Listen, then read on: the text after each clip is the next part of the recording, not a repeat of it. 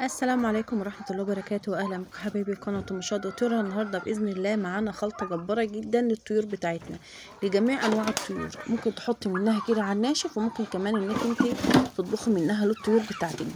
بصوا جميلة جدا جدا. بستعملها بقالي سنين كتيرة جدا آه للطيور بتاعتي. كبيرة وصغيرة بس بستعملها للطيور الصغيرة من أول شهر ونص أو شهرين. ببدأ إن أنا أأكلهم منها. تعالوا مع بعض نشوف الفيديو النهارده. بسم الله ما شاء الله زي ما حضراتكم شايفين البط الخليط المصطفي والخليط وكمان البط البلدي. أقسم بالله حاجة كده في منتهى الروعة.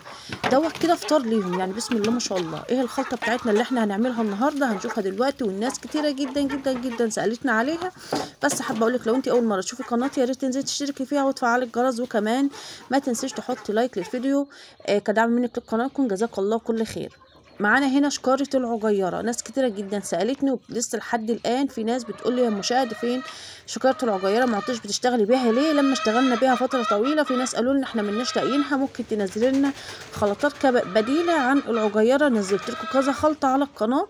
ورجعنا تاني للعجيرة. أهي بسم الله ما شاء الله. جميلة جدا جدا جدا. دي اسمها خلطة حمام سوبر. حتى أنتوا لو لقيتوا هتلاقي مكتوب عليها عجيرة اهوت في مربع احمر مكتوب عليها عجيرة. هي اسمها كده. تمام ومكتوب عليها كمان خلطة حمام سوبر. مكونة من إيه العجيرة ده يا بنات؟ مكونة من كسر الرز والردة والذرة الصفراء وكمان نسبة من العليقة. تمام؟ عاوزه أقول لكم الشكاره بتاعتها دلوقتي تقريبا ب 340 جنيه أو 345 جنيه. خلاص؟ جميلة جدا جدا جدا. هتغنيك إن انت تشتري أي نوع أعلاف هتغنيك إن انت تشتري ذره هتغنيك إن انت تشتري كزب هتغنيك إن انت تستعملي حاجات كتيرة جدا جدا. ديت هتستعملها الوحيد لو أنت هتستعمليها على الناشف هتستعمليها على العيش فقط. العيش فقط. عيش مبلول وهتحط عليه الكمية اللي انت هتحتاجيه منها وهتأكلي الطيور بتاعتك بسم الله ما شاء الله. عاوزه أقول لك إن ممكن كمان الطيور إن انت وجبة واحدة بس في اليوم هتخلي الطيور عندك هتقعد طول النهار على الوجبة دي. بس تكون وجبة مشبعة بحيث إن هم ياكلوا ويفيد معاهم كمان أكل. لو هم جاعوا في أي وقت هياكلوا منه.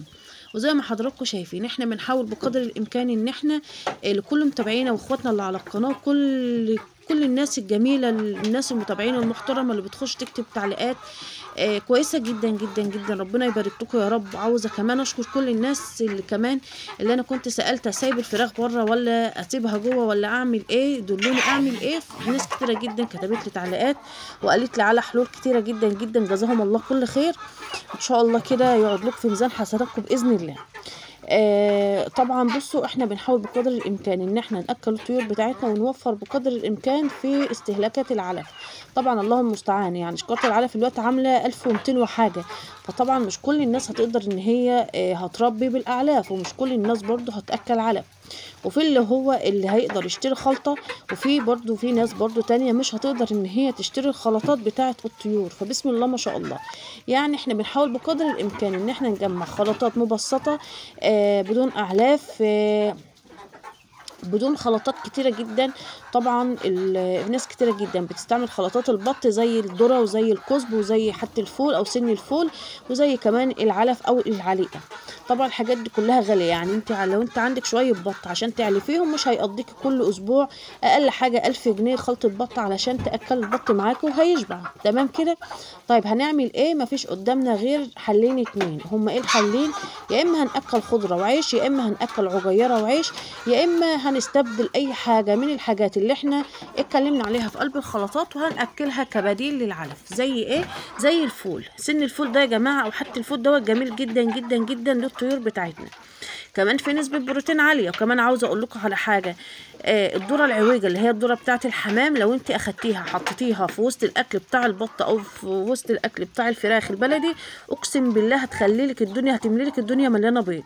لأن آه الذرة العويجة بتاعة الحمام اللي هي الذرة الصغيرة اللي هي الكور الصغيرة دي عاوزة أقول لكم ديت فيها نسبة بروتين عالية جدا جدا للطيور وللبط وللفراخ ولكل حاجة.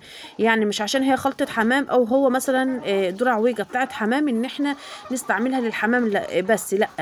عاوزة أقول لكم كمان إن الشكاره اللي أنا كنت بجيبها اللي كان فيها الشعير وكان فيها الغلة وكان فيها الذرة وكان فيها نسبة من العلف كانت فيها نسبة من الذرة العويجة بتاعه الحمام. ديت أهم حاجة على فكرة لو انت عاوزة تاخدي إنتاج بيض كويس جدا عند البط أو عند الفراخ أو عند الرومي اعملي الخلطة دي جميلة جدا جدا جدا. كمان في ناس سألوني قالوا لي يا مشاهد ال- الرومي بتاعنا إحنا آه، مش عارفين نأكله بصراحة أو إحنا أول مرة نربيه وخايفين نأكله. لا اكلي الرومي كل حاجة ما دام عدى معاك الثلاث شهور اكلي كل حاجة. ممكن تحط له بواقي أكل بيت على عيش على نسبة من الذرة. بس أهم حاجة إن أنت تحط له نسبة من العلف علشان خاطر الرومي بيحب ال بيبقى عاوز نسبة بروتين. ممكن آه، إن أنت مثلا تسلقي له بطاطس وتحطها له آه، ممكن من فترة للتانية. حتى لو هو كبير ممكن برضو إن أنت مثلا يوم كده مثلا أقول لك بس يعني يوم مثلا كده أو يومين في الشهر ممكن إن أنت مثلا حتى لو أنت هتسلقي بيضتين اتنين وهتكسرهم في وسط الأكل وهتديهم له هيديله نسبة بروتين هايلة جدا جدا جدا جدا وهتخلي الروم يقف على حيله كده وهتلاقيه شد ومش هيجيله لا لين عظام ولا هيجيله كساح ولا هيجيله أي حاجة. أهم حاجة التغذية السليمة. سمعت ناس كتيرة جدا قالت الخضرة بتجيب إسهال. الخضره بتجيب إسهال في حالة واحدة بس. لو البط عندك أو الفراخ عندك عندها إسهال مزمن واكلته خضرة كده هيجيله إسهال على طول. إنما طبعا إحنا بندي في الأسبوع قبل كده اتكلمت مع حضراتكم في الموضوع دوت لازما في الأسبوع لازما تدي مرة أو مرتين خل أو خل تفاح على المية. ده بيقضي على جميع الإسهالات وبيقضي على جميع البكتيريا والفيروسات. فلازما إن أنت تدي الوجبة دي أو تدي السقوة ديت للبط بتاعك أو الفراخ بتاعتك من وهي صغيرة لحد لما تكبر مرتين على الأقل في الأسبوع. غير كمان تديها آه اللهم صل على النبي تدي برضو البط والفراخ عندك. من وهم صغيرين لحد برضو ما يكبروا حتى لو هتديها لهم مرة واحدة في الأسبوع صيف وشتاء آه بصل وثوم ده بيبقى جميل جدا جدا جدا. وفي ناس كمان سألوني البيض آه، بتاع الفراخ بينزل بيضة برشت من غير قش. طب إحنا هنعمل إيه؟ هتحط شوية ملح أو معلقة ملح. ملح طعام اللي هو الملح بتاعنا. هتحطي معلقة ملح على الأكل بتاع الفراخ أو البط بتاعك أو تجيبي فصين توم وكل فرخة كده حط لها فص توم في بقها لمدة 3 أيام. بس هتلاقي بسم الله ما شاء الله القشرة بتاعتها اتظبطت وهتلاقي كمان ال- باضت لك البيضة بتاعتها كويسة وفي نفس الوقت القشرة بتاعتها مظبوطة وناشفة ما عادش خلاص خالص البيضة برشت ديت تنزل نهائي. خلاص كده؟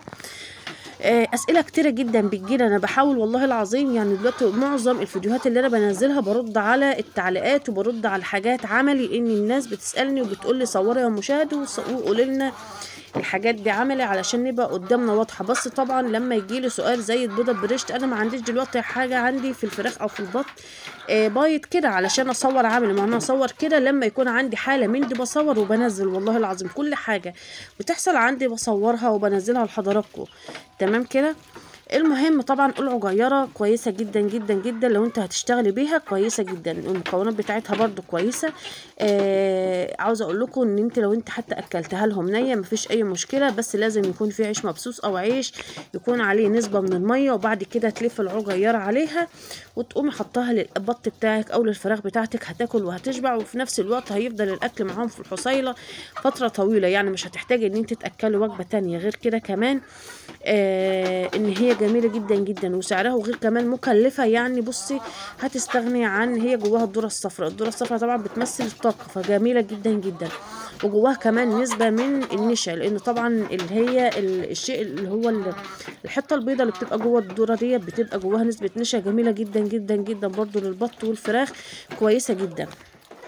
تمام. آه الرده جميلة جدا فيها نسبة فيتامين للبط وللفراخ. آه كسر الرز طبعا لا غنى عنه.